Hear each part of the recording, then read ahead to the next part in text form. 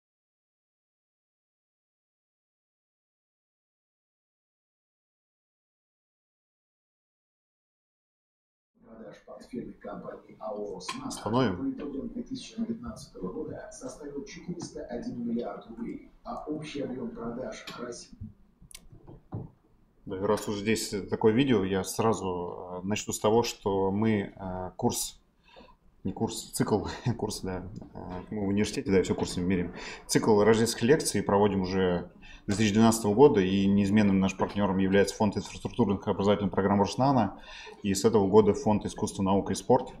И э, рождественские лекции МИСИС – это там не только традиции, но в целом это, э, я даже специально взял один из символов наших рождественских лекций. Это близость Нового года, это встречи с э, великими выдающимися учеными современности. Это такая э, лекция престижа, когда в конце года, ну, пон- понятно, что у ученых отчеты, э, финансовые показатели сдаются и так далее, но тем не менее они находят время поделиться с передним краем своей науки. И сегодня э, мы продолжаем этот цикл.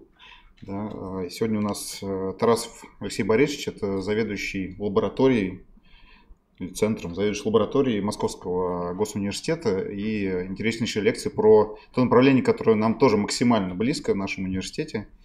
Э, Я не знаю, как конкуренты вы или коллеги, э, наверное, и то, и то. В общем, про пероскитную солнечную фотовольтайку. Алексей Борисович, прошу. Спасибо. Мандаринку могу оставить. Спасибо. Особенно спасибо за мандаринку. Коллеги, добрый вечер. Спасибо большое, что вы пришли сегодня. А, ну, тема лекции на слайде. Я попробую ее сделать, а, может быть, даже в формате интерактива. Если есть какие-то вопросы по ходу, может быть, мы можем их сразу обсуждать. А, вообще, рождественские лекции – это замечательно, потому что иногда они напоминают нам о том, что перед Новым годом действительно есть Рождество – как-то вот так, наверное, мы себе представляем рождественскую лекцию, а начинается она с задержкой на 15 минут, потому что в реальности выглядит примерно таким образом. Немножко громче бы хотелось слышать вашу речь в аудитории. Хорошо, но это вопрос. Я могу говорить громче? Так слышно? Придвиньте к микрофону. Ну, при всем желании не смогу. А, Значит, а, да, вот примерно так выглядит а, рождественская пора в реальности, а, в той научной реальности, в которой мы живем. А, Но действительно мне очень приятно быть сегодня в МИСИС, потому что это а, не только известный российский университет, но еще и родные охотничьи угодья наших коллег из группы профессора Альдо Ди Карло, который там, наш хороший давний товарищ, с которым мы очень активно работаем и вместе э, корчуем э, поле солнеч... современной солнечной энергетики в России. Нас, к сожалению, очень немного э, таких ученых э, на родине по сравнению с примерно 10 тысячами научных групп по всему миру, которые занимаются перовскитами. Поэтому, отвечая на вопрос, конкуренты мы или коллеги, я думаю, что мы в большей степени коллеги, потому что мы а, значит, с Мессисом и Сколково втроем значит, э, стратегически дружим, скажем так, с оставшимися где-то 9900 группами по всему миру, отвечая за одну седьмую часть земного шара. А, ну, План презентации здесь на слайде. Я постараюсь коротко рассказать э, информацию о том, что из себя представляет солнечная энергетика сегодня и, в общем, как в ней появились перовскиты, какую роль они занимают, что мы, в частности, в МГУ делаем в этой области. Я думаю, о разработках МИСИС рассказывать не надо, там такие выдающиеся достижения, что о них пишут в прессе. А, Ну, прежде всего, я бы начал с того, что любая энергетика альтернативная, она по сути своей солнечная. Потому что под э, альтернативно возобновляемой энергетикой принято понимать э, солнечную гидро- и э, ветроэнергетику, но все это есть последствия воздействия солнечного излучения на поверхность планеты Земля. Если это ветряная энергетика, то Солнце греет воздух, и воздух перетекает, образуется ветер. Если это гидроэнергетика, то сначала Солнце испаряет воду, она где-то конденсируется, течет вниз. И солнечная энергетика в этом смысле это самый прямой э, и понятный способ преобразовать бесплатную энергию, которая попадает на поверхность Земли, в электричество, минуя механические э, устройства, по возможности минимально завися от климата, который все-таки меняется. Поэтому солнечная энергетика это ну вот, пока что самое очевидное будущее, которое есть у человечества. У нас здесь, к сожалению или к счастью, практически нет альтернатив. Солнца в мире действительно очень много. Вот э, я эту карту нашел на одной презентации, не поленился, пересчитал цифры. Действительно, вот э, 300 на 300 километров покрываем обычными, совершенно стандартными кремниевыми батареями образца прошлого десятилетия с КПД 16%. И действительно закрываем общую потребность э, сегодняшнего человечества в электроэнергии. Тут можно сразу передать привет э, коллегам, которые занимаются высокотемпературной сверхпроводимостью, сказав, что а также тем, кто занимается запасением энергии, потому что даже если у нас все получится с, у нас все получится с солнечными элементами, то потом эту энергию нужно как-то доставить из этой самой пустыни Сахара э, в основные мегаполисы. При этом можно или передать по каким-то беспотерным путям, э, вот СП-30 лет нам их обещает, или запасти их эффективным способом в батарейки, в химическую энергию. В общем, непочатый край, если э, коллаборировать с коллегами работы, но а, коротко, действительно, солнца очень много. Если покрыть поверхность хотя бы основных зданий солнечными батареями, нам для распределенных нужд, не индустриальных, не под плавку металла, конечно, не под горно-рудную добычу, но на отопление и освещение точно хватит. А, сегодня солнечных батарей в мире производится достаточно много. Это уже сотни гигаватт производственных мощностей в мире, и они задействованы. То есть реально в мире производится год э, гигаватт энергии из Солнца. Это, ну, как сказать, мало, относительно мало по отношению к нефти и газу, но э, это уже цифры, которые, в общем, определяют интерес и серьезность намерений инвесторов, которые вкладываются в солнечную энергетику, потому что гигаватты это очень много. И на сегодняшний день э, почти 100% э, этой солнечной энергетики вырабатывается кремнием. Причин тому масса. Первая в том, что это очень надежная технология, которая стала надежной, потому что ей занимаются примерно 50 лет. Первые фотопреобразующие элементы это ну, такие серьезные 60-е годы прошлого века. То есть 50-60 уже почти лет. В этом направлении, в общем-то, положены миллионы человека часов, миллиарды, может быть, даже уже. И э, до сих пор тонкопленочные солнечные кремниевые элементы это ну, такой Значит, минорная часть рынка в основном это моно и э, поликристаллические кремниевые пластины. Э, этот график наверняка кому-то известен. Есть такая компания NREL, National Renewable Energy Laboratory в США, которая является индустриальным ну, лидером, наверное, консолидирующим и э, усилия Соединенных Штатов Америки в области фотовольтаики, ну и ориентиром определенным для всех научных групп, которые занимаются в этой области – Э, который каждый месяц обновляет чарт, э, показывающий текущее положение КПД солнечных элементов различного типа. Здесь принципиально, ну, можно условно назвать 5 групп солнечных элементов. Это классический кремний, э, каскадные солнечные элементы и различного рода растущие направления. Что можно из этой диаграммы подчерпнуть? Она, к сожалению, вот не совсем up-to-date, потому что она обновляется действительно каждый месяц. Сейчас рекорд перовскитов немножко больше, чем здесь, но тем не менее, солнечные элементы бывают разные. У кого-то вот там фиолетовая ветка в левом, у вас в правом, правом верхнем углу, а, это КПД порядка 46%. Это а, гетероструктурные, многокаскадные солнечные элементы. Эффективность 46% это очень много. А, это космическая эффективность, которая применяется по большому счету практически только в космосе и характеризуется как следствие космической ценой. То есть солнечный элемент с КПД 46% это ну, порядка 100 тысяч евро за один квадратный метр. Это Стоимость, которая возможна, наверное, только для спутниковых применений, там, где важно объем вырабатываемой энергии с единицы площади, но, в общем, практически не важна стоимость, которая нам, за которую он достанется. Есть солнечные элементы э, с достаточно низким КПД, это вот нижняя часть, органические солнечные элементы. КПД может достигать там, 10%, в реальности в промышленных образцах это там, 3-5%, зато не очень дешевые. Есть кремний, который находится почти ровно посередине этой таблицы. Текущее значение КПД это где-то 25%. Для монокристаллического порядка 20-23% для поликристаллов.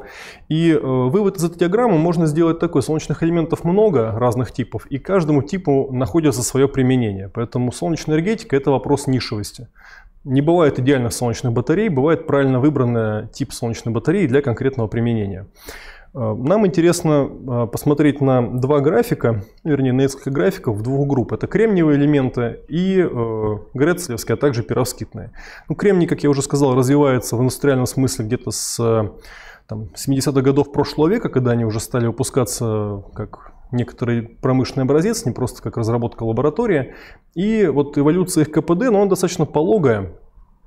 А, и, в общем-то, была довольно долго доминирующей до тех пор, пока в 1991 году э, профессор Грецель, это швейцарский ученый, Майкл Грецель, о нем расскажу немножко позже, не представил э, миру э, статью в журнале Nature. Это была разработка солнечного элемента нового поколения, достаточно дешевая. Там было КПД порядка 5%.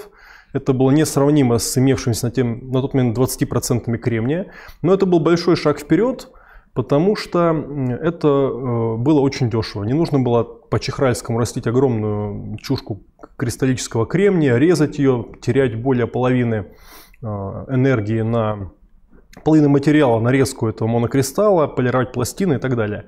А что очень интересно и важно для, я думаю, для МИСИС, как для нанотехнологического университета, для нас – самом деле, вот статья Грецеля была, может быть, первой статьей, ну или одним из первых коммерциализированных достижений, когда именно наноструктурированность материала дала не количественные, а качественные изменения в свойствах. А, значит, э, через пару слайдов покажу схему, а, поясню, почему это важно. И, соответственно, перовскитные солнечные элементы появились в 2009 году. Э, как на тот момент развитие и усовершенствование грецийских солнечных элементов. Я расскажу маленькую историю, которую, может быть, не так просто где-то прочитать э, из вторых рук. Я ее знаю от профессора Грецеля.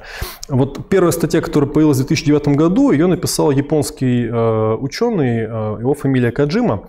Э, он отправил статью в журнал, э, значит, где он попытался заменить э, в грецийском солнечном элементе краситель на новый тип материала. Не на органический краситель, а на твердый полупроводник.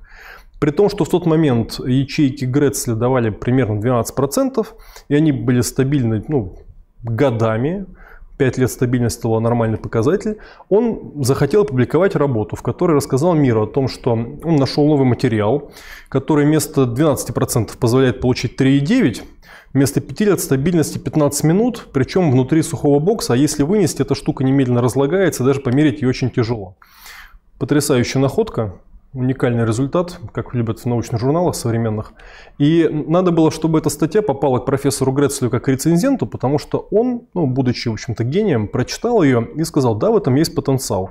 Он повторил эту работу у себя в лаборатории, потому что это, в общем, довольно несложно было для него, как для лидера э, значит, ДССЦ фотовольтайки на тот момент.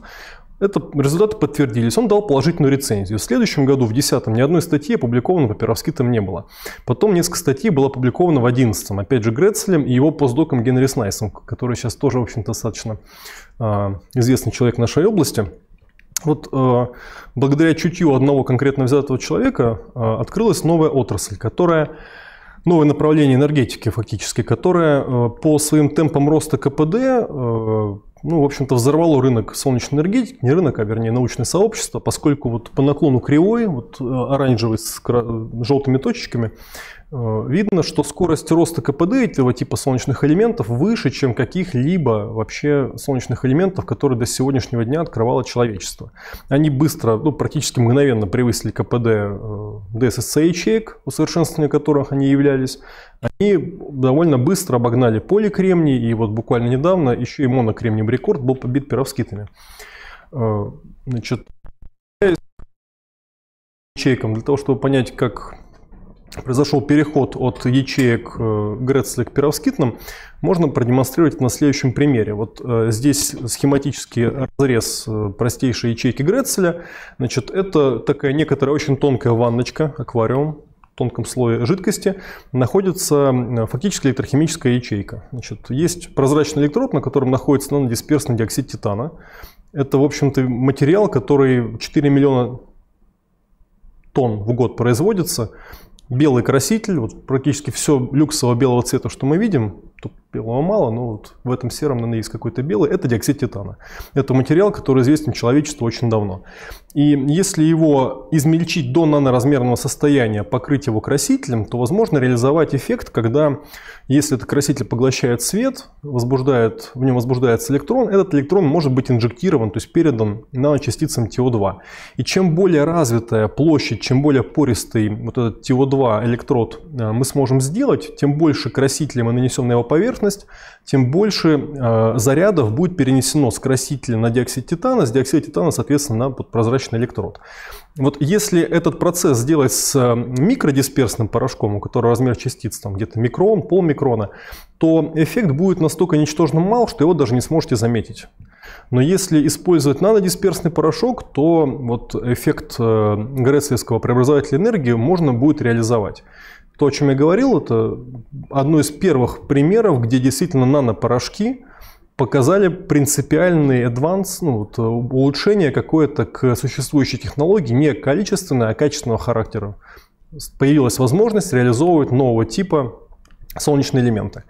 А, значит, количество публикаций в этой области росло, в общем-то, экспоненциально. Я видел красивую картинку, каждый раз не успеваю ее сфотографировать, человек слайд переключает на конференции. Вот примерно такая же динамика публикации была у графена, и это, значит, какой-то момент при очередном удвоении, там, звездочка, Нобелевская премия. Вот, значит, а, по а, перовскитным элементам может быть, тоже что-то подобное произойдет, но пока по Грецлевским, которые, за которые Нобеля еще не дали, я думаю, что это вот ближайших, э, ближайшего времени вопрос, э, Грецлевские солнечные элементы в принципе коммерциализированы. То есть можно купить промышленно производимый солнечный элемент. Главный его плюс то, что он полупрозрачен. Это его и главный минус, потому что, ну, очевидно, если что-то полупрозрачное, значит, часть света через него прошла, значит, она не поглотилась, и КПД будет, ну, оч очевидным образом ниже, чем у полностью непрозрачного солнечного элемента, зато им можно делать красивые декорации. Вот картинка, кроме обложки читалки, которую вообще никогда не нужно заряжать, она подзаряжается от э, обычного света комнатного при небольшом своем энергопотреблении. Это компания в Швеции, которых производит, кстати, получившая приз Роснана вместе с Михаилом Грацлем два года назад. Вот э, справа сверху это зарядная станция для автомобиля. Это реальная зарядная станция в Швейцарии. Э, профессор Грецель ездит на электромобиле, как человек, значит, следующий своим убеждениям, заряжает ее вот, вот такой станцией. Она за день накапливает количество энергии достаточное, чтобы там, на небольшую дистанцию, порядка 40 километров в день, автомобиль питать при передвижении по городу. Э, это существенно красивее, чем если бы там стояла серая кремниевая панель, абсолютно непрозрачная. Все было бы хорошо в грецельских солнечных ячейках, если не КПД. Да, ну вот, собственно говоря, профессор Грецель на Русло на призе, и у нас лаборатория, где он довольно часто бывает. А, значит, все было бы хорошо, если бы не низкий КПД грецельских ячеек. И в процессе их эволюции в 2009 году э, как раз-таки впервые значит, японские ученые, которые занимались подбором альтернативных красителей, чтобы повысить эффективность передачи фотоиндуцированного э, электрона с красителя на значит, пористый диоксид титана в грецелевской ячейке, подобрали соответственно, использование нового материала, гибридного органо-неорганического перовскита. И дальше, э, следующие два шага, логика эволюции пероскитно-солнечных элементов привела нас к тому, где мы есть сейчас. Сначала был заменен жидкий электролит, вот этот аквариум заменили на твердый электролит, э, солнечный элемент перестал вытекать, растекаться, испаряться, это повысило его стабильность. Потом э, значит, решили, что улучшив немножечко свойства самого перовскита, можно добиться таких значит, расстояний пробега фотоиндуцированных носителей заряда, что, в общем-то, и пористый электролит не нужен, потому что площади поверхности плоской вполне хватает в случае пироскита, в отличие от DSSC ячейки, чтобы эффективную экстракцию носителей заряда применить. Вот сегодняшний рекорд КПД выше 25%. А, здесь срез а, того, как выглядит пироскитная солнечная ячейка, значит, стандартных слоев ну, должно быть по меньшей мере 5. Три центральных, то, что поглотит свет – Два к ним прилежащих – это то, что отведет электронные дырки, фотоиндуцированные в этом поглотителе света в перовските. И два контакта. Один – это тот, который пропустит свет через себя прозрачный, второй, который снимет электроны максимально, ну или дырки максимально эффективным образом. Как правило, это металл. Соответственно, при поглощении света электрон бежал в одну сторону, или, вернее, дырка электрон в другую. А, что любопытно, в общем, перовскитный солнечный элемент – это достаточно реальные нанотехнологии. Тут был красивый ролик про Роснано. Мы не сговаривались, но это действительно так. Перовскитный солнечный элемент имеет толщину ну, не более 2 микрометров. Все остальное в перовскитном солнечном элементе – это подложка. Это либо кусок стекла с прозрачным проводящим покрытием, либо это полимер. Но так или иначе, в общем-то, вес перовскитного солнечного элемента, того, что генерирует э, электрическую энергию в солнечном элементе, стремится, ну, в общем-то, к нулю. Да, это меньше 1%. А, значит, рост, динамика роста публикаций, которую я анонсировал несколько слайдов назад, приведена здесь. А, ну, в общем, это довольно похоже на ту ситуацию, которая была с грецельскими солнечными элементами, только цифры там, с фактором значит, 5. Количество людей, которые в мире занимаются пероскитными солнечными элементами, сейчас, конечно, превышает все разумные пределы. Это особенно это радостно, потому что, в общем-то, светит нам некоторое, значит, может быть, светлое будущее в плане энергетики человечеству. А, для России не радостно, потому что, как я упоминал, нас серьезная группа значит, в Российской Федерации по пироскитной фотовольтаике значит, S-Match S3, значит, МИСИС, МГУ а, и Сколтех. Значит, э, наиболее близкие к перовскитам аналоги с точки зрения вот их функциональных свойств это CIGS и кадмий-телур солнечный элемент. Это тоже тонкопленочные солнечные э, панели. Но если посчитать удельную, вот, э, удельный вес, э, насколько легким можно сделать солнечный элемент, то для кремния это будет рекорд с фактором, для перовскита это будет рекорд по отношению к любым другим технологиям с фактором 10.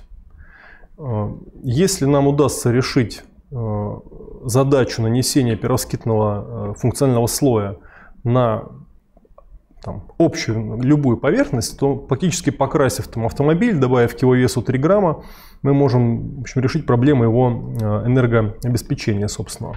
Ну вот здесь в каком-то примерном масштабе то, как выглядит пероскитный солнечный элемент по отношению к кадмий-телур и CIGS технологии. Это самый тонкопленочный солнечный элемент, который, в общем-то, на сегодняшний день известен. И э, его близость Э, морфологическая к существующим солнечным элементам, она определяет то, что с технологической точки зрения его похожим образом можно получить. Вот это иллюстрация из довольно известной статьи в журнале Energy Environmental Science на тему того, как может быть устроено э, производство пероскитных солнечных элементов. На самом деле оно, отлича... оно очень мало отличается от производства других видов тонкопленочных э, солнечных элементов. Там все принципиально те же стадии. Э, и, казалось бы, проблема должна была бы быть довольно быстро решена, но есть некоторые моменты, которые э, очень важны для развития этой области, которые до недавнего времени мало кто учитывал.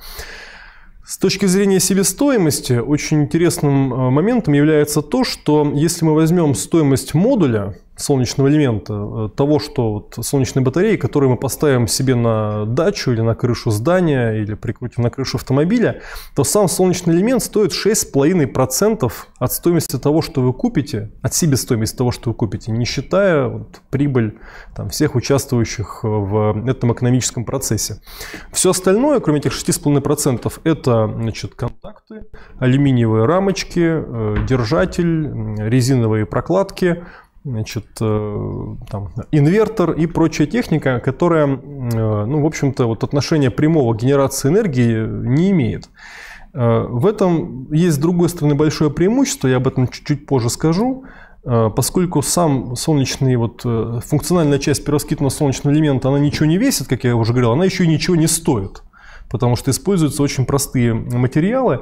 Это тоже дает некоторые преимущества для развития данной технологии на основе технологий, которые уже сейчас существуют. Кроме того, очень интересно то, что пероскитный солнечный элемент состоит из, ну, основные смысловые части солнечного элемента состоят из тех элементов и материалов, которых в природе, в принципе, довольно много. Вот, например, если мы захотим создать 12 тераватт солнечных элементов на основе кадмий-телур, Э, технологии, то производство телура придется увеличить в тысячу раз на планете. Эта задача, ну, есть некоторые страны, которые очень обрадуются, но в целом задача очень непростая. Вот. А, значит, если мы начнем делать все солнечные элементы завтра не кремниевые, а перовскитные, то свинца нам придется увеличить производство всего-навсего вдвое. что, в общем-то, задача существенно более доступная, я даже думаю, даже существующими майнинговыми мощностями э, на планете Земля.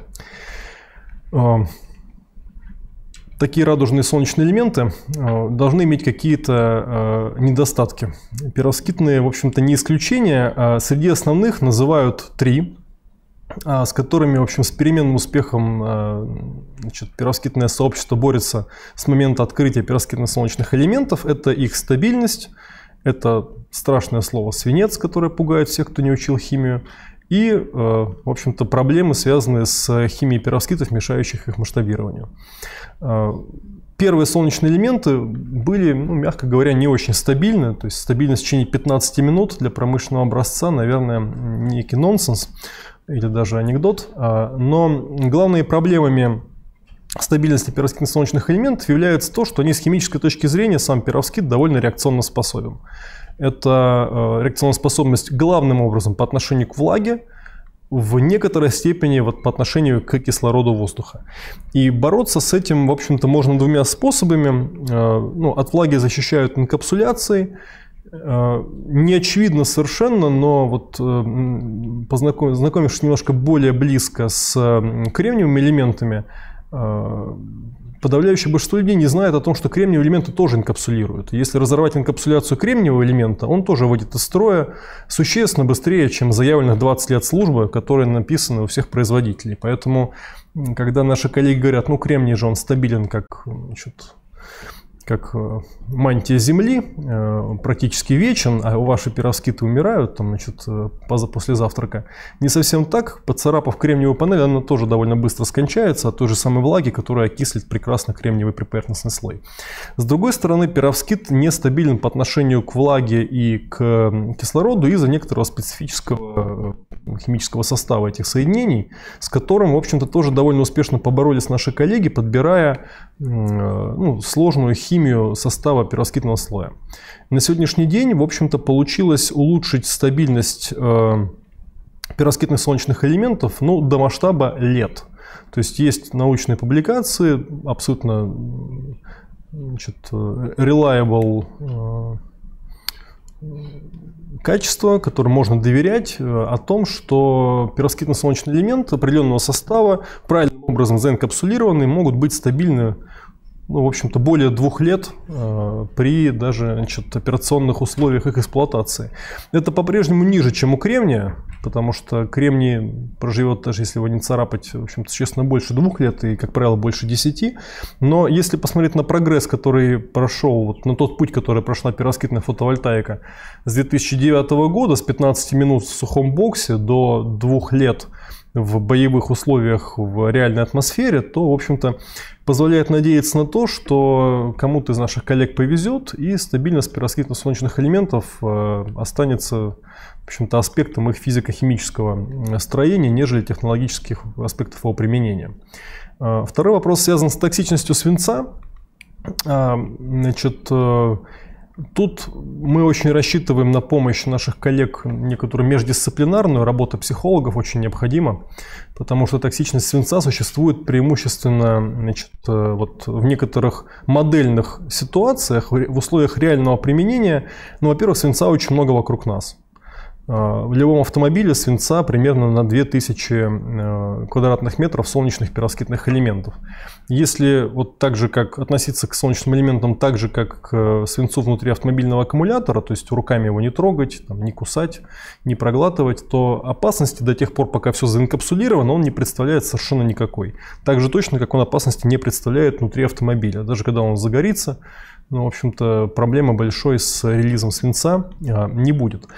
И самого по себе свинца как химического элемента в природе достаточно много. Есть прекрасная работа 2016 года в Nature Energy, где наши коллеги посчитали, каково нормальное содержание свинца в Земле в среднестатистическом количестве Земли. Так вот, вот если в перовскитном модуле это будет 0,4 грамма на метр квадратный, примерно столько же свинца будет в одном сантиметре обычной русской Земли. Значит, если даже раз произойдет полная значит, разгерметизация пероскитного солнечного элемента, он весь вытечет, полностью смоется весь свинец в почву лежащую, там содержание свинца повысится вдвое, что до ПДК достаточно далеко. Значит, э, будет несправедливо не упомянуть, что вот в этой статье к ней есть несколько комментариев, которые э, значит, очень компетентные люди приводят, связанные с тем, что в пероскитных солнечных элементах свинец в достаточно растворимой форме, форме едида. По сравнению с металлическим свинцом в аккумуляторе это более растворимо, и, в общем-то, он ну, может попасть в почву быстрее, чем из просто свинцовой чушки. Э, и Скорее всего, вот представить себе, что пероскитные солнечные элементы массово будут применяться в местах, где крайне вероятно а, повреждение солнечного элемента и контакт высокоинтенсивный с ним людей, наверное, нет. А, будет ли пероскит опасен вот в значит, в солнечной ферме, да, то, что называется, на солнечной фабрике, где стоит несколько квадратных километров панелей? Скорее всего, да, это полностью безопасная технология а, по отношению к другим возможным техногенным рискам, которые могут там быть. А, значит, проблема масштабированности солнечных пироскитов, ну, в общем-то, не столько острая, сколько просто последовательная, значит, связанная с тем, что одной из причин интенсивного развития пироскитных солнечных элементов в Э, лабораторных условиях является то, что его достаточно легко синтезировать. Вот если посмотреть на э, периодику, особенно на научно-популярную периодику ранних пировскитных лет, ну, это было дикое время, когда в статьях писали, что там перовскита можно будет там, кисточкой покрасить стену, значит, там, покрасить покрытие с пульверизатора.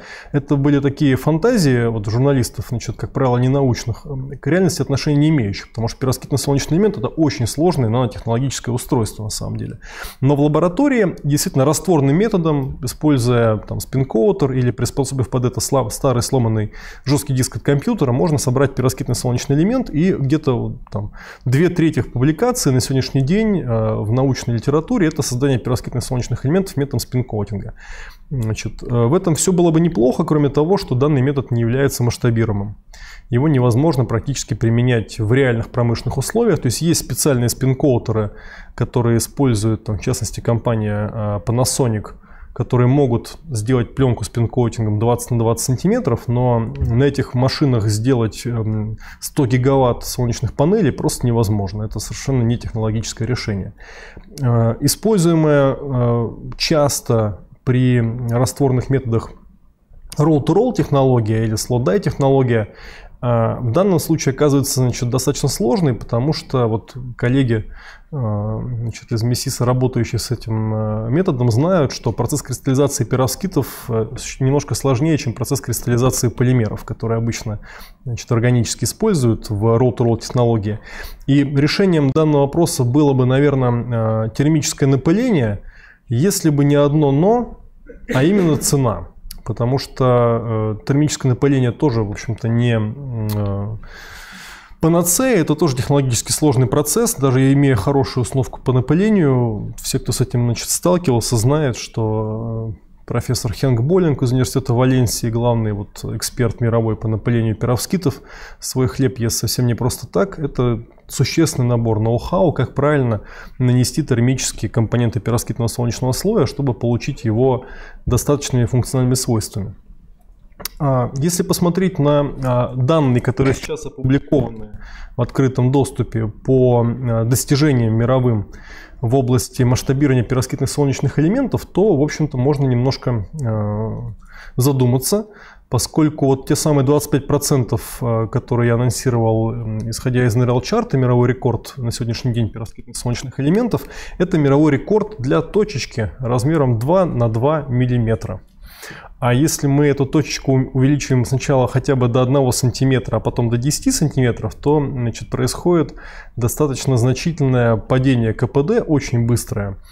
И э, посмотрев на результаты вот, от масштабированных пироскитных солнечных элементов, можно заметить, что как только мы начинаем говорить о 10 квадратных сантиметрах и более, КПД сразу опускается до не более чем 15%.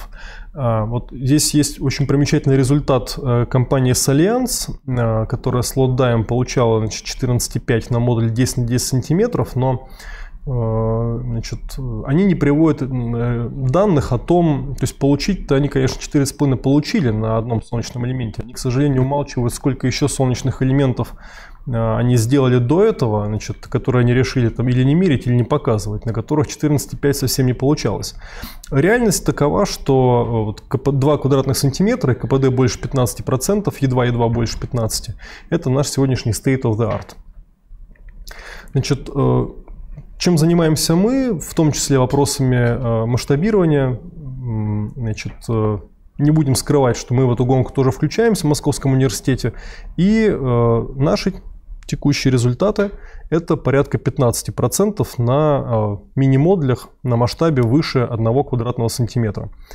Значит, как я уже упоминал, в мире занимается перовскитными солнечными элементами где-то порядка 10 тысяч человек, по нашим оценкам, около 3 тысяч лабораторий, но э, коммерциализировать перовскитные солнечные элементы э, на сегодняшний день вот, открытым образом намереваются порядка 7 компаний. Значит, э, лидером в этой гонке однозначно является бывший постдок профессора Грецеля, ныне профессор университета Оксфорда доктор Генри Снайс, который значит, в 2014 году начал заниматься перовскитами. Это один из самых-самых первых мировых лидеров этой области. А, значит, под свои разработанные у себя технологии привлек порядка 70 миллионов а, фунтов стерлингов а, инвестиций и значит, построил завод. Какую технологию перовскитных солнечных элементов развивает он? Это довольно любопытно, и, возможно, это самый очевидный путь развития пероскитных солнечных элементов, где они, вероятно, первым выстрелят, э, это так называемые тандемные солнечные элементы. Тандемные они потому, что э, работают не сами по себе на основании перовскитного значит, солнечного элемента, а в связке с классическим кремниевым солнечным элементом. Если помните, я упоминал, что стоимость, собственно, светопоглощающей части солнечного элемента это 6,5% от стоимости модуля. Если у нас уже есть кремниевый модуль на обычной кремниевой пластине, солнечный элемент, то добавив к нему практически ничего по стоимости, несколько процентов к его себестоимости, нанеся сверху слой перовскита, мы можем гипотетически выйти за значит, пределы максимальных КПД солнечных элементов превысить 30%, потому что э, те части спектра, которые поглощают перовскитные солнечные элементы, кремний солнечные элементы, они практически не перекрываются. И э, нанеся на кремний сверху перовскит, можно добиться того, что перовскит съест свою часть спектра, выдаст свои электроны в цепь, оставшиеся фотоны пройдут через него, будут поглощены кремнием, и также выдадут свои фотоны в сеть, э, электроны в сеть, которые, значит, просуммировавшись, дадут нам КПД выше, чем кремниевый и чем перовскитный солнечный элемент по отдельности. К сожалению, математика здесь работает достаточно странным образом. Если мы говорим о, берем 25% очень хороший кремниевый солнечный элемент, на нем располагаем перовскитный солнечный элемент по той технологии, по которой мы получаем обычно 20% КПД солнечного элемента, то 25 плюс 20 дают нам 28%. А, потому что задача значит, совмещения потенциалов, а, возникающих на границах вот каждого из солнечных элементов, совмещение токов, а, значит, борьба с проводимостью, с омическими сопротивлениями проводимости на границах различных возникающих, она приводит к тому, что вот рекордный показатель на сегодняшний день это порядка 28%. Это результаты Генри Снайса. Но данный результат 28% тоже можно трактовать несколько разным образом. С одной стороны, 28 это совсем не 20 плюс 25.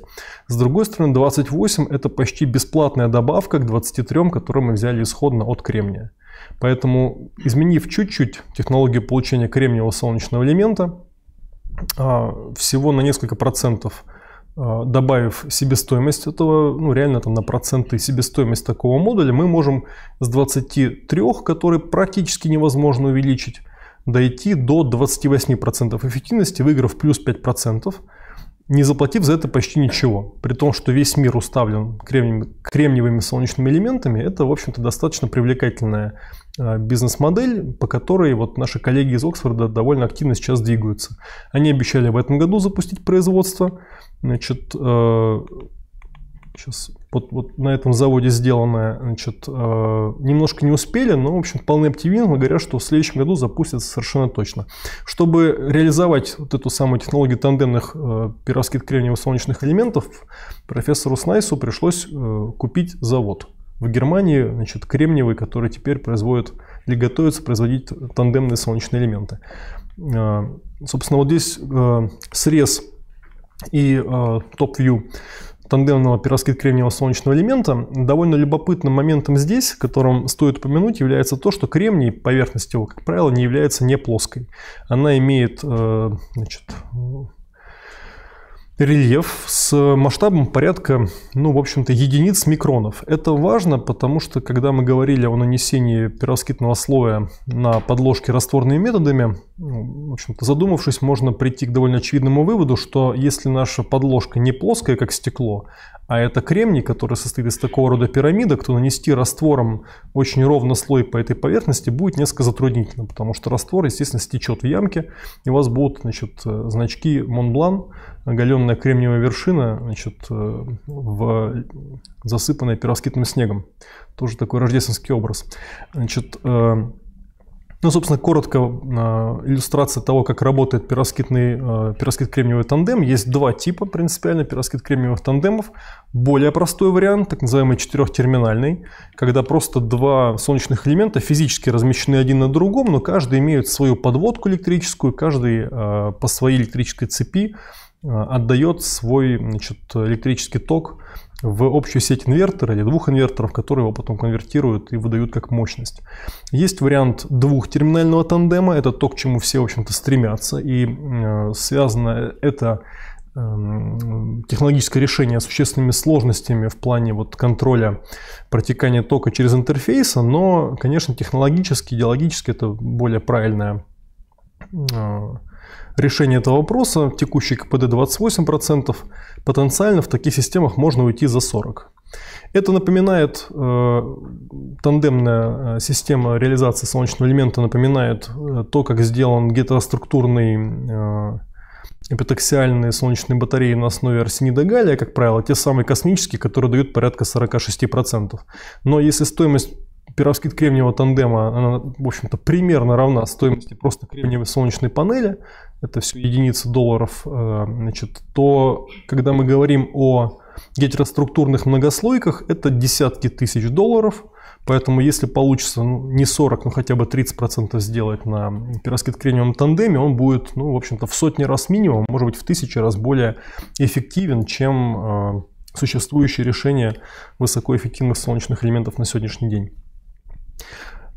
Я хотел бы э, сказать пару слов о том, чем мы занимаемся в Московском университете э, в области пироскитной фотовольтаики. Э, это фотография моей лаборатории, э, научной группы, которая в МГУ занимается пироскитами.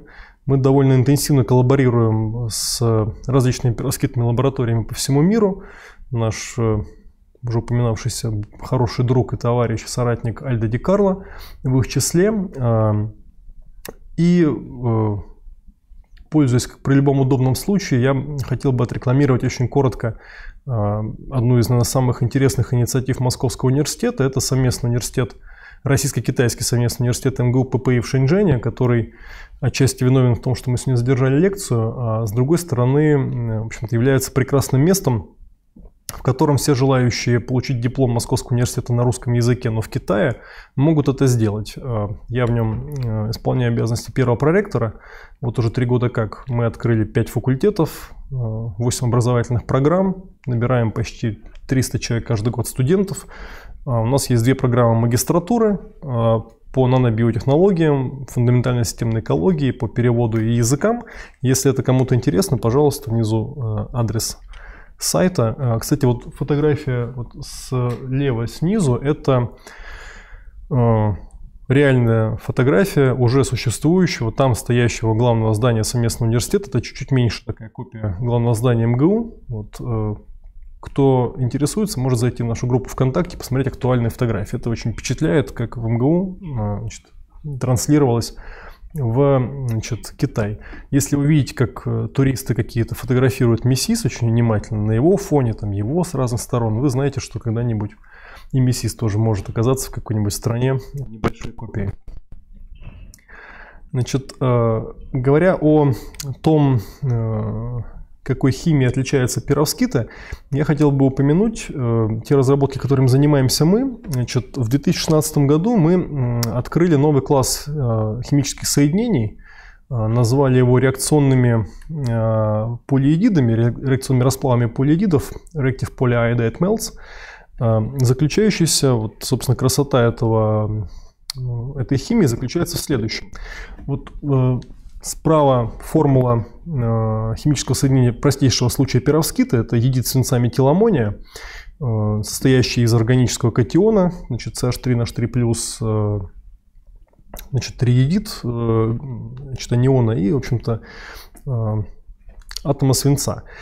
Э, нам удалось обнаружить при в общем-то, поисках соединений, которые могли бы э, выступить в качестве прекурсоров для создания такого пероскитного солнечного элемента, что э, некоторые компоненты пероскитного солнечного слоя, едит метиламония, в частности, может сжижаться под действием кристаллического йода, то есть образовывать полиедиды. В принципе, полиедиды были известны, но вот такие коротко малокатионные а, полиодиды, в общем-то, описаны не были в тот момент. А, мы обнаружили, что они действительно получаются, если просто сыпать два порошка при какой-то температуре, порошки превращаются в такую вязкую блестящую жидкость. И если посмотреть на формулу получающегося полиодида, вот звездочкой обведенную, присмотреться к правой части уравнения, то можно заметить, что, в общем-то, для превращения этого полиодида в перовскит нам все, что нужно, это добавить две буквы насыпать значит, в эту жидкость две буквы, именно P и B, добавить свинца. Мы проверили, действительно, значит, э, если взять металлический свинец, воздействовать на него реакционным полиедидом, он конвертируется в э, перовскит, гибридный органо-неорганический. И любопытно здесь то, что вот из всего многообразия химии, во всех тех тысячах статей, которые пишутся о перовскитах, это единственная э, известная в настоящий момент реакция окислительно-восстановительного получения перовскита. Потому что все остальные реакции получения перовскита это два варианта. Это либо реакция присоединения, когда мы берем компонент А, компонент Б, смешиваем, получаем АБ, частности, в нашем случае это метиламоний йод, свинец йод-2, получаем метиламоний, свинец йод-2. Или это кристаллизация перовскита из какой-либо среды, из раствора, из самораствора с метиламином, из какой-то еще значит, э, среды. Но так или иначе это будет всегда либо кристаллизация, либо реакция присоединения. Вот единственная реакция, когда что-то меняет степень окисления, это редокс-реакция, окислительно-восстановительный процесс, это вот, собственно, реакция металлического свинца с реакционными полиедидами. А, мы это опубликовали в 2017 году в журнале Materials Horizons, запатентовали довольно плотно. Значит, и э, на основе этих материалов разработали технологию, как можно получать пироскитный солнечный элемент, э, ну, в общем-то, не классическим способом. Это, насколько мне известно, единственный российский патент в данной области, такой достаточно принципиальный. Значит, э, делаем это следующим образом. Напыляем слой металлического свинца, и это, в общем-то, несложно сделать, потому что металлизация, думаю, что Миссиси, как мало где это хорошо знают, это довольно изученный процесс. Можно электрохимически осадить, можно магнетронно напылить, термически и так далее. Следом напыляем на него слой э, органического галида, единометиламония или там, их комбинацию. А потом действуем на, собственно, вот э, эту, значит, этот сэндвич парами йода. И пары йода будут поглощаться из газовой фазы значит, метиламониедидом, он будет превращаться в полиедид, и как только значит, этот полиедид э, вот, э, доформируется до того момента, когда он контактирует с подлежащим ему свинцом, он в общем, довольно быстро, в течение минут, ну секунд вернее, конвертируется в перовскитный слой. Причем перовскитный слой довольно высокого качества при комнатной температуре и, в общем-то, с хорошими свойствами. Значит, мы собрали на этих э, таким образом элементы с КПД, ну вот в настоящий момент около 20% уже. Значит, сейчас если видео заработает. Ну вот. Это, собственно говоря, пироскитный солнечный элемент, который сделан по технологии, которая полностью от первой до последней буквы сделано в России, и вот он работает довольно эффективно, вращает маленький вентилятор. Значит, настолько эффективно, что мы нашли хороший способ делать очень эффективные пироскитные солнечные элементы. Выяснилось, что главное самое – это команда. Если значит, к производству пироскитных солнечных элементов привлечь э, значит, э, премьер-министров Российской Федерации, ректора Московского университета и президента Академии наук, пироскитные солнечные элементы получаются крайне высокого качества, и можно поднять КПД в среднем на девайсе выше 13%. А, значит, собственно, вот второй вентилятор вращается от блока площадью порядка 200 квадратных сантиметров от обычного солнечного дневного света без использования симулятора. А, само вот открытие... М? Главное не быть чересчур скромным. Самое важное.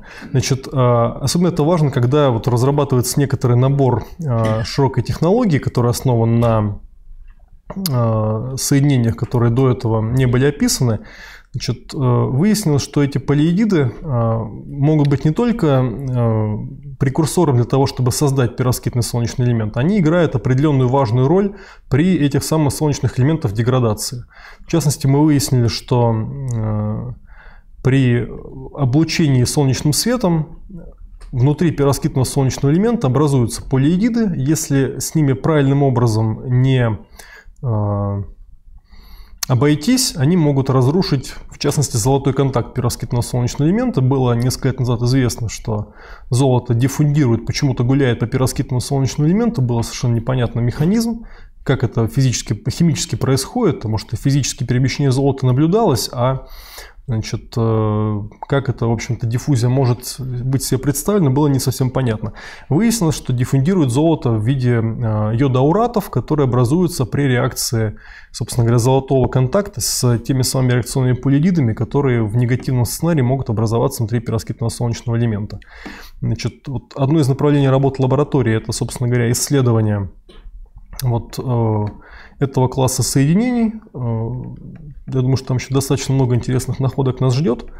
Значит, э, но основное, я думаю, то, что перовскиты как вот новый класс соединений, они э, реализуются не только в солнечных элементах, но еще в достаточно большом количестве э, применений. В частности, об этом можно рассказать отдельную презентацию, но я думаю, что когда-нибудь вот, значит, выпускник Черниговского политеха Максим Коваленко, значит, заведующий лабораторией в ЕТХ Цюрих, приедет в Россию. И, надеюсь, может быть, даже прочитает лекцию значит, или МИСИС, или в МГУ, он расскажет о квантовых точках на основе перовскитов, которые по своей э, яркости значит, люминесценции, свечения уже сейчас превзошли э, классически известные значит, э, квантовые точки на основе э, классических полупроводников. Значит, э, и вот на последней выставке там, коллеги показывали реальный прототип монитора, то есть вот, э, планшета, в котором монитор сделан на основе пероскитных э, квантовых точек. Пока весь мир активно занимается значит, пероскитными солнечными элементами, наши коллеги значит, тихо разрабатывают э, уже полупромышленные технологии производства квантовых точек и их реальное применение в э, значит, устройствах, которые, в общем-то, мы держим в руках каждый день, на которые смотрим каждый день. Также довольно любопытна возможность создания на основе перовскитов различного рода детекторов. Здесь довольно существенный прорыв ожидается в связи с развитием методов получения монокристаллических тонких пленок и монокристаллов макроскопических перовскитов. Я, к сожалению, не могу показывать некоторые вещи, потому что не опубликованы, но вот, э, думаю, что через какое-то время, если у кого-то есть интерес э, работать с монокристаллами полупроводникового соединения, такого типа как перовскиты, мы могли бы посотрудничать, потому что у нас есть очень интересные наработки в этой области. А, значит, э, я хотел бы привести цитату э, профессора Грецля, которая мне одна очень понравилась. Э, она, ну, наверное, даже не только про перовскиты, она про всю российскую, в общем-то, науку. Если есть что-то, что мы умеем делать хорошо, надо каждый день стремиться сделать это еще лучше. Вот. Если мы не улучшаемся, значит кто-то улучшится быстрее нас. Э, значит, это же касается российских разработок в области пероскитной фотовольтаики. У наших коллег Значит, в группе профессора Альда вышла фантастическая статья в журнале Nature Materials. Э, с чем их еще раз можно поздравить. И очень э, хочется надеяться, что совместными усилиями мы тематику пироскитной солнечной энергетики в России значит, да, толкаем до серьезного мирового уровня. На этом э, мне, наверное, все. Спасибо вам большое за внимание. Если есть вопросы, я буду рад попробовать на них ответить. Спасибо.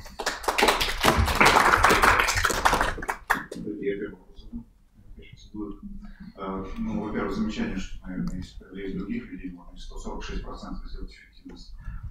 У нас бывает такие случаи. Я на одном слайде заметил фазу диаграммы.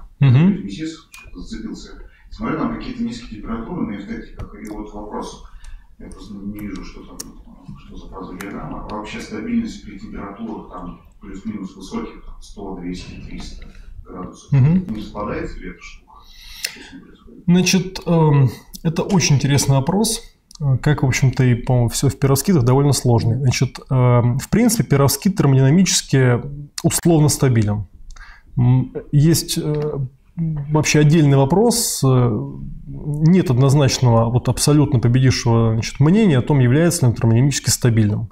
Есть люди, которые, в общем, довольно обоснованно полагают, что он, значит, метастабилен и там, значит, достаточно быстро разлагается. Особенно это заметно при воздействии на пировскит а, значит, разного рода внешних факторов. Ну, вот, например, если мы будем термически обрабатывать пировскит там, в сухом воздухе, даже в сухом воздухе при температуре выше 120 градусов, он, скорее всего, необратимо разложится, и газовая фаза, вот метиламин, в частности, от него улетит, йод улетит, значит, аж йод улетит, и он необратимо значит, деградирует. В то же время есть работа, которая говорит, что если нагреть пировскит до 400 градусов, но в вакууме, он совершенно спокойно обратно потом соберется в пировскит при охлаждении, что говорит о том, что, наверное, газообразные продукты деградации пировскита выделяются не при его разложении, а при некоторых химических реакциях, ускоряемых э, при нагреве за счет вот факторов внешней окружающей среды. Значит, а, до 120 градусов на э, масштабе времен часов выдержки при 120 градусах инкапсулированный пироскитный солнечный элемент стабилен. Выше нет. Поэтому едва ли эксплуатация чего-то на основе гибридных пировскитов, если там есть органическая часть, едва ли она будет стабильно выше э, ну, 150 градусов Цельсия скорее всего, ожидать этого не приходится. А, про фазовую диаграмму здесь, которая приведена, это фаза диаграмма, собственно говоря, тех самых полиедидов, с которыми мы работаем, а, то есть система метиламоний йод, йод. Значит, э, с ней можно подробно довольно ознакомиться. Мы опубликовали там все SIF-файлы найденных фаз новых решенных кристаллических структур, саму фазу диаграмму, инструкцию, как мы ее получали. Она вышла вот в конце сентября. Значит, э, жидкими вот эти полииды являются при диапазонах у эффектик температур там 25-45 ну, градусов Цельсия. И это вот именно то, почему, что позволяет нам говорить о том, что мы э, нашли некоторую новую ну, группу, группу соединений, значит, потому что а, обычно полиедиды при данных температурах твердые. И только вот для, значит, по всей видимости, для некоторых классов соединений, частным случаем которых являются полиедиды значит, э, алкиламониев, то есть метиламоний, формидиния, значит, э, они жидкие ну, в силу некоторых особенностей строения органического катиона. Это очень интересно с фундаментальной химической точки зрения. Это же очень перспективно с точки зрения технологических применений, потому что практически любые э, полиэгиды на основе почти любых катионов, входящих в стандартный пироскитный солнечный элемент, при достаточно низких температурах сжижаются. И это, в общем-то, дает некоторые, в купе с их реакционной способностью, дает некоторые возможности их использовать на практике при создании солнечных элементов или вот при различных около пироскитных технологических процессах. Вопрос есть? Нет. Можно? Давайте. Спасибо большое за интересную лекцию. Скажите, пожалуйста, правильно понимаю, что э, принцип работы пироскита – это фактически разряд батарейки с помощью потока фотонов? Разряд батарейки? Ну да. Ну, электрохимическая реакция. Так сказать, с помощью ну, ну, триггером которой является фотонный поток. Ну, я бы не сказал, но не совсем так. То есть электрохимическая реакция там происходит, но в ней, собственно говоря, кроме как переноса э, носителей заряда, больше никакой химии нет. То есть это скорее, в общем-то, процесс э, ну, перенос носителя заряда в твердом теле. Там образование новых фаз не происходит фактически. Там, по дефектам значит, стремятся э, там, электроны и дырки в межфазных пространствах. Ну, фотоны возбуждают, фотоны накачивают энергетикой, э, собственно, носители заряда. Возможность изменять валентность э, отдельных ионов в этом веществе. Ну, в общем-то, да, да. Тогда это и есть электрохимическая. Да, согласен. Спасибо. Ну, это так, просто для понимания. А, Вообще там мы привыкли к тому, что пирожки-то изучались как электроэлектрики. Мгм.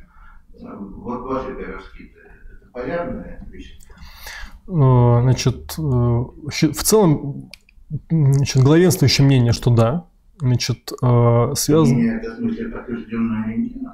э, Нет, оно подтвержденное, как правило, петлями петлями гистерезиса, то есть различного рода а, значит, эле- электрофизическими измерениями, в частности, вот поляризация, то есть это вот одна из там, групп публикаций в области перовскитов, являются ли они сигнеты или еще какими-нибудь электриками. Ну, там а.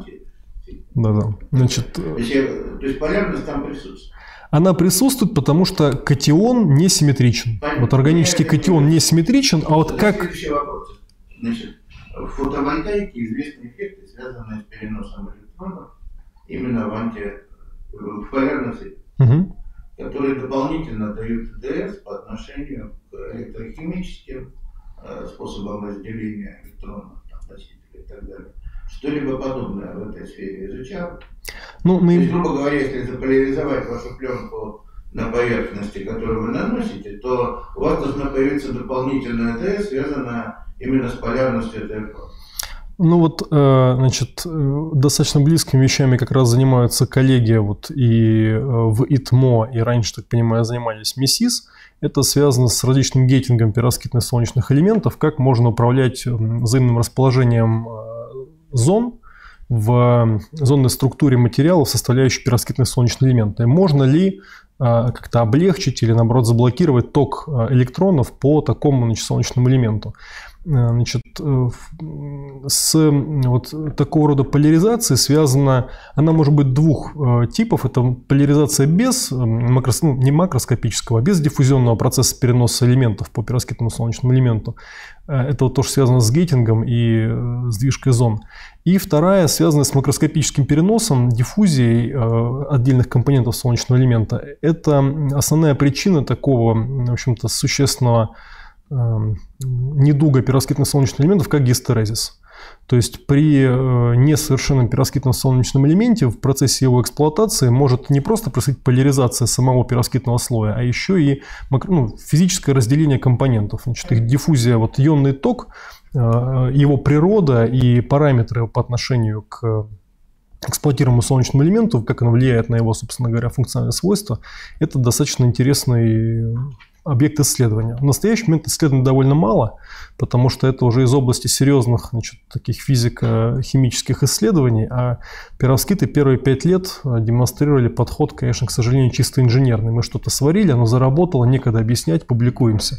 Вот сейчас потихонечку, по, по мере того, как возможность найти что-то лежащее на поверхности значит, исчерпалась, все больше и больше людей начинают, ну, либо доходят до вопросов того, какова же физик, физико-химия, там, химия перовскитов, которая абсолютно нетривиальна, значит, э, я, к сожалению, несколько слайдов не вставил, Э, или, значит, э, там, физика, какие процессы протекают при там, фотовозбуждении, транспорте зарядов, или просто серьезные люди, которые занимались вот физикой такого рода процессов, начинают смотреть в сторону этих объектов, потому что они становятся понятными.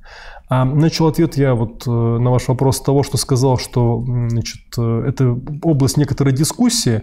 Вот физики, занимающиеся перовскитами, есть прям группа статей, их даже не всегда, впрочем, просто понять, которые, значит, вот э, каждая вторая начинается, значит, там есть э, значит, какие-то электрические эффекты, каждая первая с того, что их нет. И дискуссия происходит, вы не так померили, нет, значит, вы не то посмотрели, вы не так интерпретировали, у вас не тот прибор, вы не учли, что есть газовая среда, которая дает электрохимию на вашем, значит, там, зонде Кельвин Проба, которым вы это все делали. И вот э, такого рода, значит, э, дискуссия. Но принципиально, поскольку, в общем-то, катион не симметричен, ну, не идеально симметричен, это не атом, это молекула. заряженное, в общем, с дипольным моментом, то, конечно, какая-то сигнет электричества в нем может присутствовать. Но чтобы его где-то применяли, пока что я, не, честно говоря, не знаком с такими работами. И чтобы этому дали адекватное физическое описание, вот на уровне физического качества работы, пока, наверное, об этом говорить рано.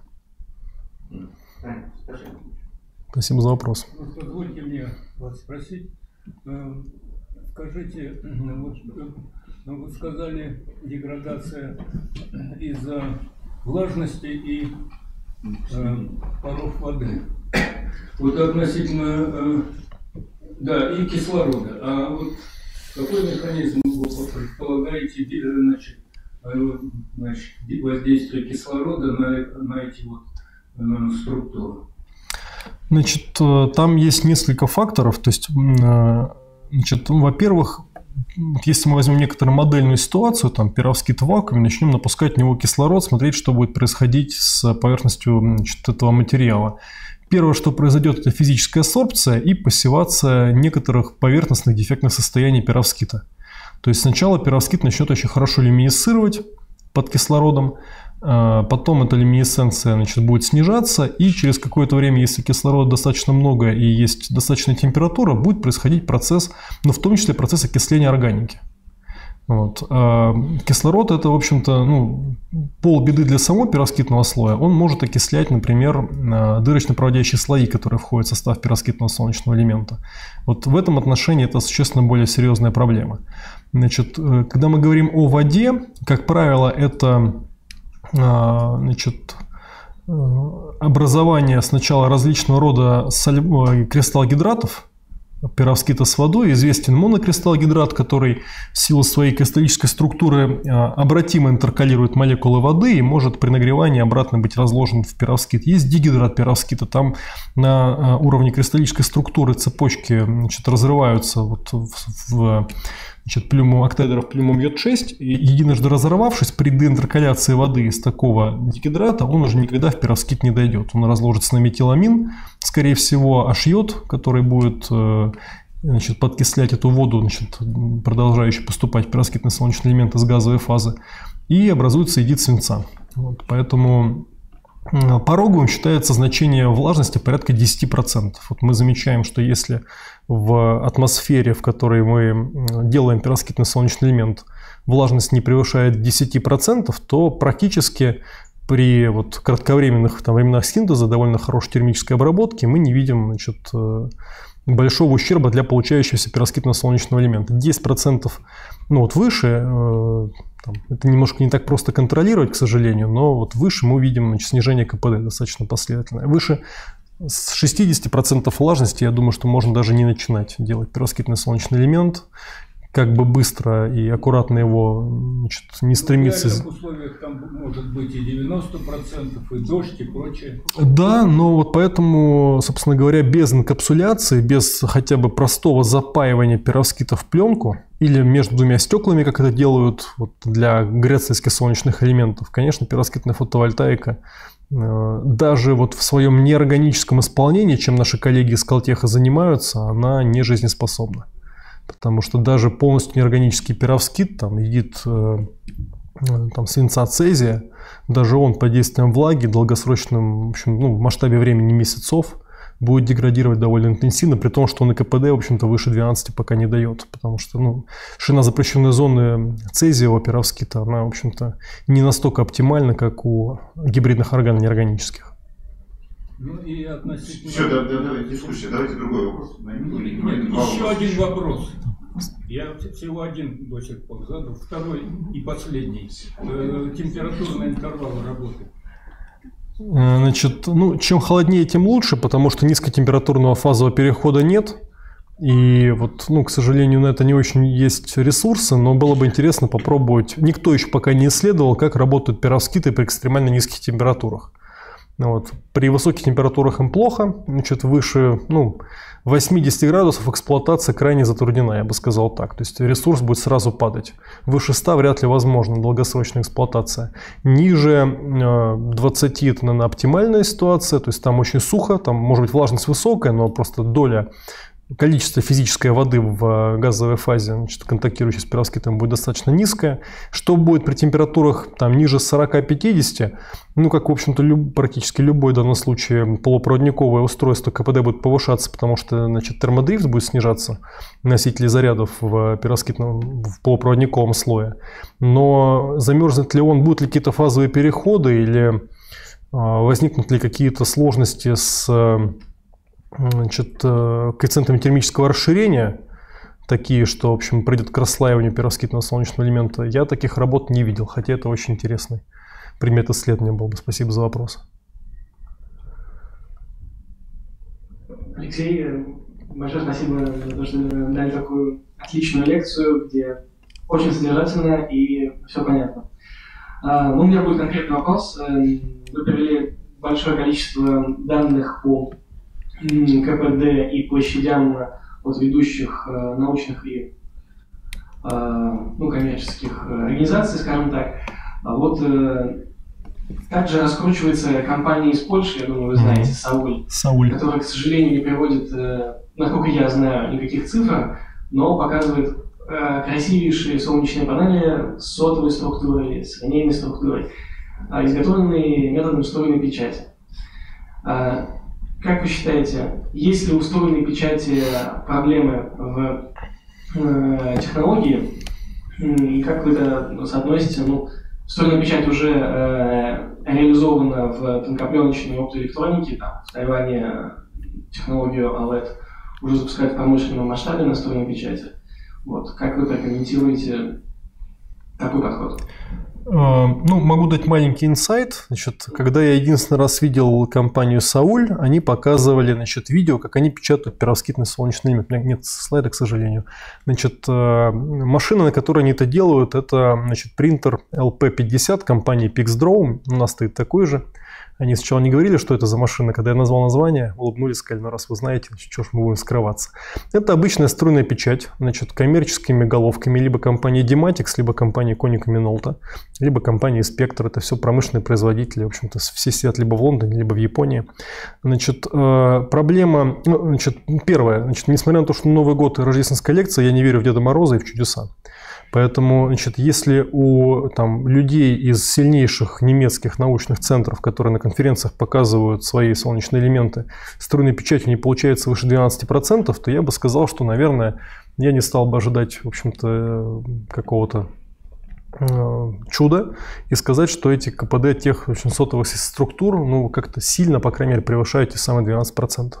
Значит, главная проблема струйной печати заключается в том, что я вот, э, Значит, это со временем становится понятно, что перовскиты не так просты, как нам того, в общем-то, хотелось бы, как нам всем казалось поначалу, когда они только появились. В частности, значит, у перовскитов очень сложная химия растворения. Значит, э, все, кто с пировскитами работают, знают значит, три главные аббревиатуры пировскитчика. Диметилсульфоксид, диметилформамин, гамма-бутерлактон. После третьей обычно вздрагивают значит, в Российской Федерации. А, значит, два растворителя – ДМФ, ДМСО.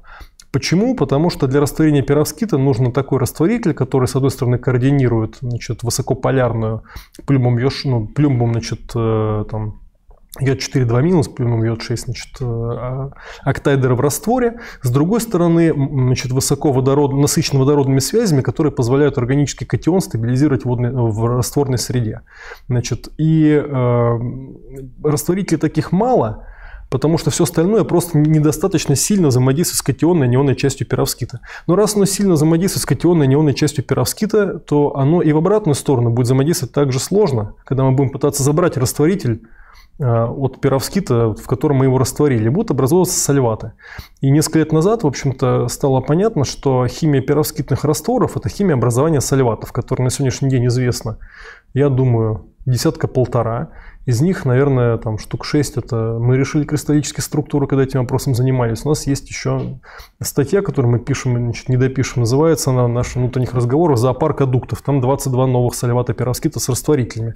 Вот все, что мы будем делать в inkjet печати, это печать перовскита из растворителя, который нужно очень хитро подобрать. И какой бы растворитель вы ни взяли, скорее всего, я подозреваю, какие они могут брать, там будут все те же самые проблемы, кристаллизации перовскита контролируемым образом не в виде иголок, не в виде значит, разрывных пленок из растворителя. Значит, если они смогли решить каким-то образом э, задачу контроля кристаллизации в малой капле перовскита из какого-то растворителя, это очень здорово но вот угадать, что бы это могло быть вот принципиально новое, настолько, что никто в мире до этого занимающийся растворами перовскитов не догадался, честно говоря, очень сложно. Но вот работа, которую я видел по печати перовскита, кстати, в Германии занимаются, во Франгофере в университете Карлсона, там есть две группы очень сильные, которые тоже печатают перовскит струйным принтером. У них у всех КПД это 10-12%. Вот, э, значит, принципиально струйная печать не сильно лучше чем классический слот дай или там roll-to-roll любое производство, потому что значит, капля струйного принтера это 40 микрон, значит, растекшаяся капля 40-микронная это вариация по высоте по меньшей мере в микрон, и, в принципе, с вариацией по высоте в микрон можно вполне себе значит, разровнять кредитной карточкой или дорогим слот дай значит, устройством перовскит по подложке существенно более простым методом где есть там Airblade, воздушный нож, где можно там спрыскивать это все дело антисольвентом, контролировать процесс кристаллизации существенно более тонко.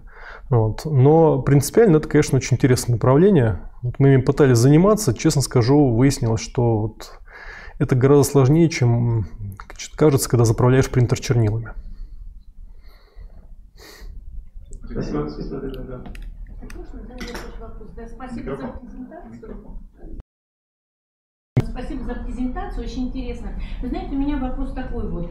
Значит, э, ну вы сказали, что всего несколько групп, да, вот в России занимаются исследованиями то есть это означает, что мы отстаем как-то вот, да, вот от э, остального мира. Значит, соответственно, у меня вопрос такой, кто лидеры сегодня вот в этой области, это первое. Угу. И второе, все-таки какие перспективы коммерциализации тех разработок, которые делаются нашими учеными в России? Есть ли интерес со стороны вот компаний инновационных и так далее, и так далее. То есть вот что происходит вот в этой сфере, да? Угу. Спасибо. Угу. Спасибо. Значит, э, ну, что касается того, что мы отстаем, наверное, отстаем. Ну, по крайней мере, по каким-то, как бы, по каким показателям отстаем? По идеям, я думаю, что мы не отстаем, потому что вот э, ну, то, то, что мы видим на конференциях, где российские команды выступают. Э, работы очень высокого уровня, реально, вот по крайней мере в трех наших центрах, где занимаются пироскитами, это очень высокий уровень работ.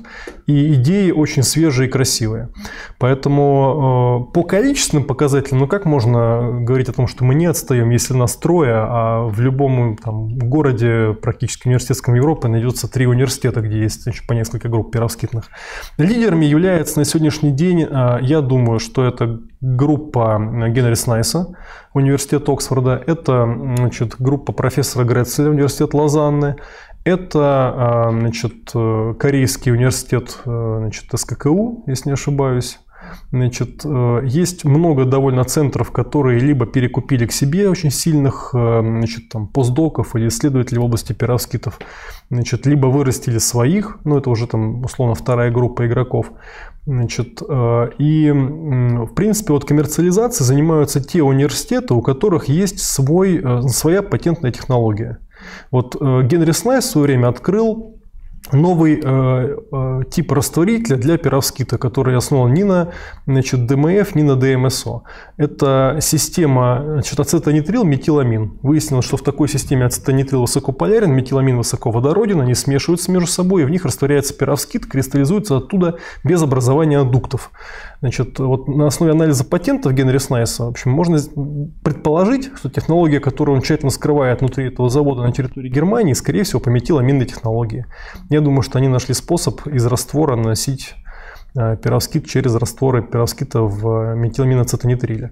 Значит, э, есть технология обработки газофазной там, э, значит, парами метиламина, сжижения перовскита в парах метиламина. То же самое, что мы знаем для паров йода. Вот они за несколько лет до нас открыли, в общем-то, вторую дуальную систему к этому. У них тоже есть какие-то свои разработки по коммерциализации перовскитов. В Китае есть группа, которая значит, показывает модули тоже обещали до конца года построить, значит, скольки-то там мегаваттный завод.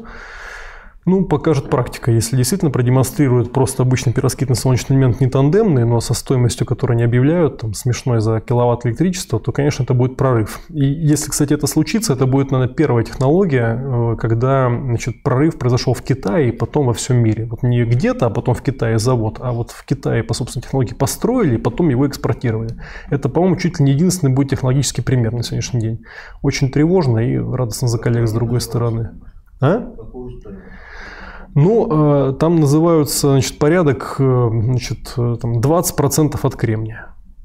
А 20% от кремния – это дешевле, чем электричество из розетки обычное, которое вот, ну, с сжиганием ископаемых природных ресурсов получается. Поэтому вообще стоимость, элементы или стоимость эксплуатации? стоимость электричества, которое он выдает, что самое страшное. Да. То есть именно стоимость конечной электроэнергии, вот она, это же, ну, э, стоимость электричества вообще вопрос интересный, да, но не только физическим определяется, а еще и очень во многом фискальным образом. То есть экономика задает стоимость электричества. Солнечный элемент, который у нас никогда не будет, в общем-то, рентабельным, потому что там, гидроэлектростанция, если она уже есть, то электричество бесплатное практически. И электроэнергия в Швейцарии, где значит, э, телефон заряжаешь и думаешь, значит, сколько это стоит. Э, Поэтому вот китайцы значит, предлагают такую технологию, обещают ее выпустить на рынок. Э, Сауль, компания польская, кстати, ее сделал выпускник э, алюмни лаборатории профессора Грецеля.